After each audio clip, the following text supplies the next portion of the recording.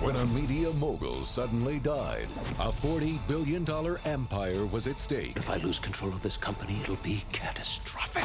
And all that was needed to stay in power Did we find this heir yet? was a simple handshake. Longfellow deeds?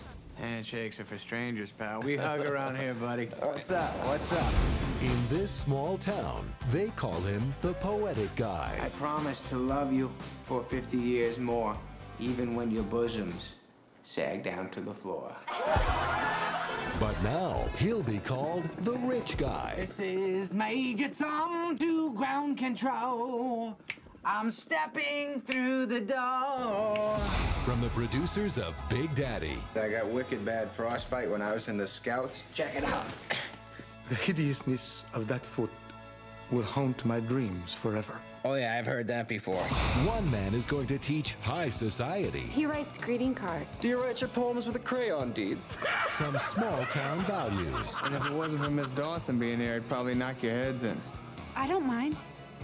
Okay.